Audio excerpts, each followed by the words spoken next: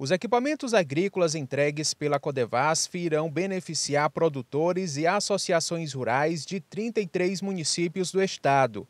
Uma delas é a Associação de Produtores de Mandioca do assentamento Serra Branca Serra Vermelha, em São Raimundo Nonato, comunidade que tem como principal fonte de renda a produção de farinha de mandioca. Nosso assentamento, ele até hoje vem trabalhando em casas de farinhas artesanal. Isso, quando nós trabalhamos em casa farinha artesanal, nós não temos uma produção é, acirrada, uma produção de boa qualidade, uma produção maior.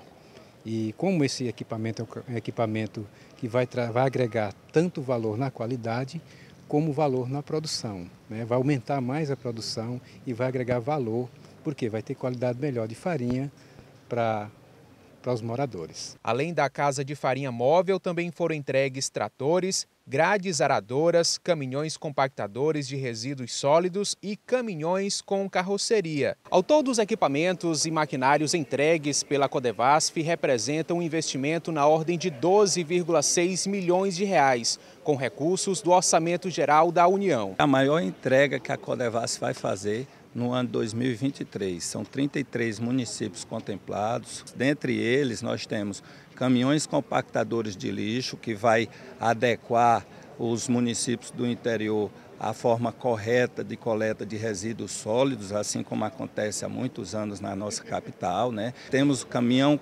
carroceria metálica, que leva o produto do nosso produtor, agricultor familiar, que leva o produto da, das suas roças para os centros comerciais. Temos a Casa de Farinha Móvel, né, que é uma fábrica de farinha móvel, onde você bota a fábrica de farinha na porta da roça do produtor, então tira dele esse ônus também de processar. A casa de farinha agora é dele, do produtor, familiar do mandiocultor do nosso estado do Piauí. Para o vice-prefeito de São Raimundo Nonato, os equipamentos recebidos devem fazer diferença para os agricultores, que já estão preparando a terra para o plantio da próxima safra no município. Especificamente hoje estamos trabalhando com a mandiocultura.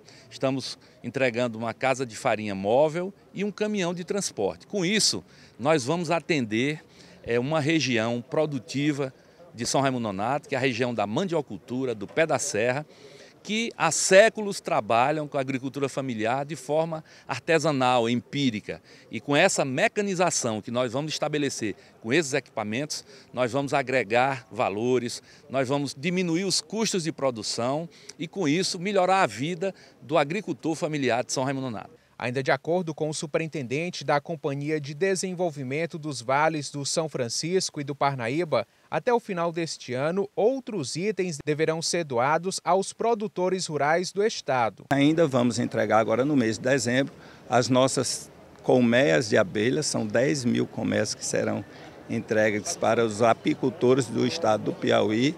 Temos nossos kits de irrigação e um pouco de tanques redes para apoio à piscicultura. Eu já estive esse ano visitando as associações de piscicultura em tanque rede no Rio Longá, em Caxingó, em vários outros municípios, na região norte principalmente, e, e, e já fui nessa intenção de fazer um levantamento da necessidade desses produtores, né, desses piscicultores, para que a gente venha fazer esse aporte e essa distribuição equitativa e planejada desses tanques redes.